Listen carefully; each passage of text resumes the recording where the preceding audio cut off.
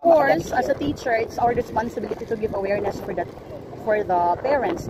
So in our little way, by uh, using the social media, we try to communicate to parents that it, it is uh, very okay for their learners, for their children, to go to school, not in the face-to-face uh, modality. Meron naman tayong ibang mga paraan upang hindi ma-stop ang learning ng mga bata.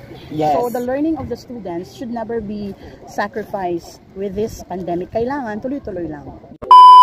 Everyone. So today we're live here at Ma'am Jamie Rose Simple About because of course I'm going to give her winnings sa ating paraffle John na Victoria's Secret. So to Sir Richie. So by the way, ito yung prize na nakuha ni Ma'am Jamie Rose sa kanyang paraffle. So, yeah. Ayo! Ayo! Hi, Ma'am Jamie Rose! I miss you. Kumusta? Wala mo nang beso beso besh kasi bawal. Yes, yes. Say hi to my vlog. Hi, hi to his vlog. Hi to his vlog. okay, so ngayon nga, napag-isipan ko na of course, since nandito na, na rin lang tayo, so why not have a short interview with Ma'am Jamie Rose, one of the ever-active, super talented, efficient, effective, productive, um, what else? What else? Okay, sa ating division of Toledo City. So come on guys, let's get this started. And of course, let's welcome ourselves sa humble abode ni Ma'am Jamie Rose. Hello. Five minutes later. Gonna go to Talavera Baywalk. Yes, it's very famous here in Talavera. And of course, they will be closing tomorrow naman. So, might as well to go there since wala pa na-close. Yeah. Yan, si Ma'am Jamie Rose kasi napaka, ano, napaka-accommodating. So, gusto niya pag nag-interview kami, may snacks, may fruits, and all. The fresh kitas camera there. Yes, and then here's my friend, the vlogger, The vlog. the the host, The host. Na, very well sought host. the host kay well sought, oy sought after. Kaban sa sought sa kiki. Okay, so once again, um, later on, you are going to witness the Baywalk of Talavera. So actually, it has been famous for quite some time. Unfortunately, the government won't allow them to function anymore. So they'll be closing tomorrow na. Because of the safety of the people. Yes, kasi minsan kasi wala nang social distancing na nakikita kasi pag maraming tao, hindi na natin namamalayan na malapit na pala tayo sa isa't isa, di ba? You can see, so this is one of the livelihoods that Talavera has. So, Yes, fishing. Our place is so much fortunate because binigyan kami ng ganito so mapagkukunan ng ekonomiya ng Talavera. Yes. I guess it's going to rain. Umulan na siya kanina, di ba? Kita niyo naman yung ano, ulap. Napakaitim ng ulap. Okay, so, And the best things also here in Talavera, our seashore is totally clean. yes, as, the people also. yes, as you can see, talagang disiplinado yung mga tao dito. Kita niyo naman wala ni isang plastic na inyong makikita. Talagang yung makikita niyo lang yung mga seashore. Yeah, seashore. May mga seashore. Anda, seashells. anda. Kuha ni Manin sa vlog na kanina, katakatawa. Ano?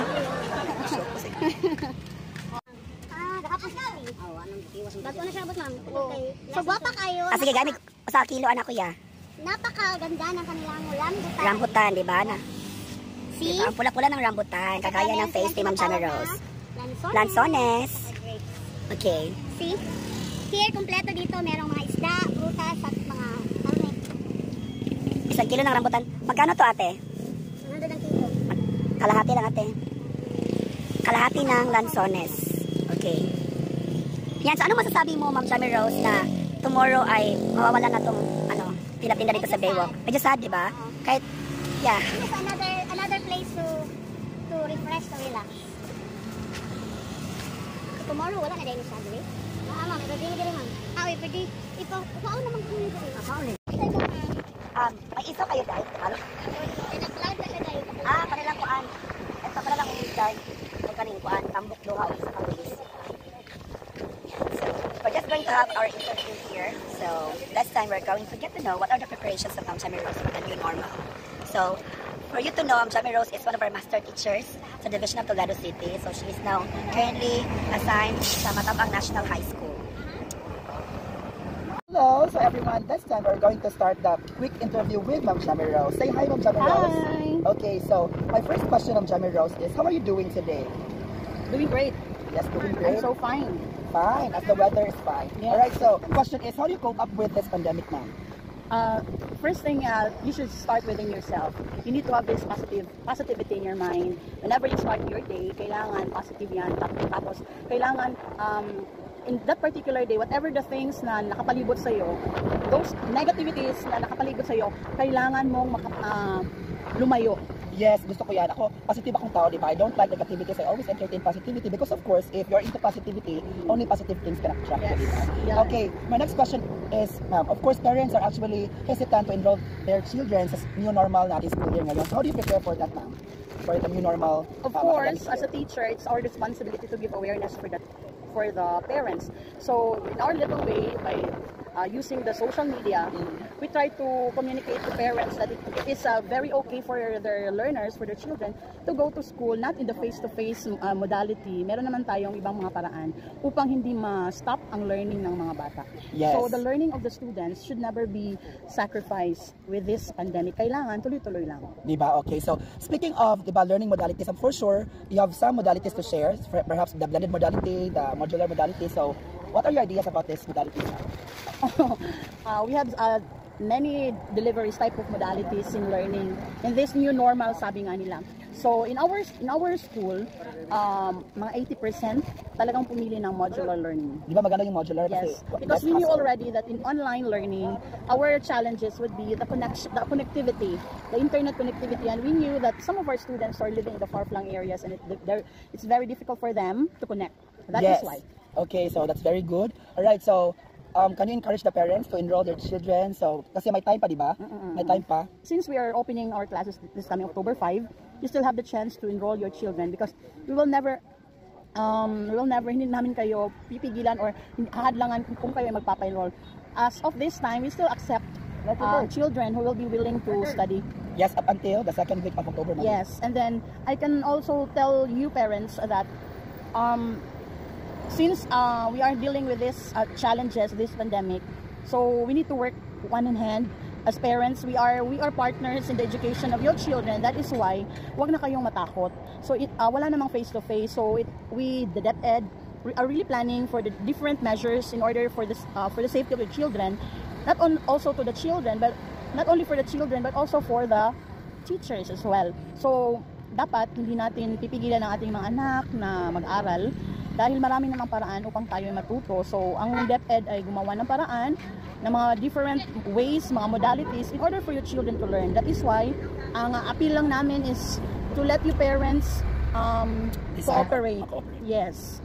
Okay, napakagandang advice yan ni Ma'am Jamie Rose. Ma'am Jamie Rose, marami nagtatanong at of course marami nangungutya na yung mga teachers daw um, binibigyan ng sahod kahit wala namang trabaho. So ano yung mga ginagawa ng mga teachers from the past six months na nagsa-start yung pandemic? Yes, um, we heard also those kinds of feedback and comments from other people.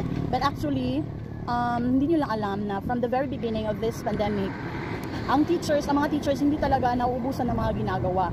They even um, purchase their own uh, resources in order to uh, give what is good for your children. So bumibili sila ng laptop, ng ng mm, prepaid wifi, yung mga at iba pang mga mga bagay na Ring nakakatulong. light, Yes, microphone, kasi gamit yan sa Zoom, di ba? Yes, oo. Kasi Tapos- yung Zoom at Google Meet, yung ginagamit sa Yes, online. and then also another thing also, the teachers are really making some modules for the learning process of your children. So gabi-gabi nilang ah, ginagawa yan at hindi biro, no, mga sleepless nights na gumawa ng mga modules. In fairness naman to the teachers. Yes nga, kaya saludo kami sa mga teachers. So, to those people who are saying that, ah, yung mga teachers wala naman ang ginagawa, bakit sila sahuran yan? Hindi nyo lang alam na minsan wala kaming tulong kasi nga may tinatapos kaming outputs and of course, pinapas kami mga accomplishments na kahit Saturday at Sunday, kailangan naming ipas 24-7, yung nakabukas yung aming mga GC.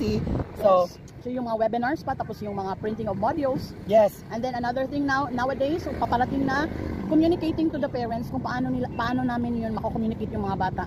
So on how to to give their modules and other and other ways. Yes, So, uh, ginagawa the real struggle will start on October 5, di ba ma'am? So Yes. kami magbahay kami para mabibigay ng mga module. Sa speechless ko ni Mama Marqueza kay grabe. Magaling siya mag-English tapos ang galing pa niya mag-Tagalog, di ba? First and second language. So, Ma'am, Yes. yeah, to close this video, again, I thank you so much for your cooperation. So, actually, um, we didn't plan to have this quick interview, Yes, but it's an ambush. nandito na rin ako, kaya nag-i-interviewan kami. so, guys, I hope you are able to get what is the message of Ma'am Jamie Rose about this new normal nga, nga sabi nila na type of education. So, any last message ma'am for my viewers? Hi mga viewers, please do subscribe to his channel. Kawawa na. no, kung nakikita niyo yung mga vlogs niya, talagang hindi lamang for entertainment, it has also in, it is also informative. Yes. So like the the channel of Sir Richie Lania Labajo. Yes. You try also to please try to um, support all our teachers vloggers. Yes, kasi nga, kumikita ang kabuhayan. So, minsan nga, napapaisip kami kung anong gusto, ano yung racket na gusto naming So you're mapagkakitaan. not only uh, um, giving what's this? You're not only earning or sort sort of earning money, but You're you're, also also, inspiring, yes. inspiring. That's the most uh, important thing. Inspiring. yes. yes. Thank you so much, Ma'am Jamie Rose. Thank you. At dahil dyan, It's my it's my pleasure to be to be interviewed. Uh, kanang pinakalit. Mm, Yes. And thank you very much also for your my God. ay, bigay mo to sa anak mong English speaking. Oh, and then also I would like to say thank you to Sir Richie for the lotion, Victoria's Secret lang naman, Yes. fresh from the States, and then because I won in his Kailan vlog, ba yan? and I'm looking forward to have another, uh, this kind of Raffle draw. raffle draw, and this kind of vlog, naaliw ako. Yes, actually, I'm going to have my next raffle draw. Um, pag na-monetize na yung channel natin, mamimigay tayo ng mga papremyo kasi nga may sponsor na si Vice Mayor. Hello, shout out Vice Mayor. Wow. So, kaka-receive ko lang ng amount na uh, yeah, sponsorship by Vice Mayor JCG kasi nga naaalis siya sa ating mga vlogs and he wants to support our local vloggers in Toledo City. So, thank you so Wow. much. At of course, hihintayin ko si, Ma'am, si Mayor Joy Perez. Big ka naman. Okay naman, ma'am. Okay, so thank you so much everyone for watching once again. Do not forget to click on the subscribe button. And of course, please follow Jamie Rose Mart Twitter sa kanyang Facebook. Wala. Her Lunyo own lang ako. Soon. So thank you so much. Thank you.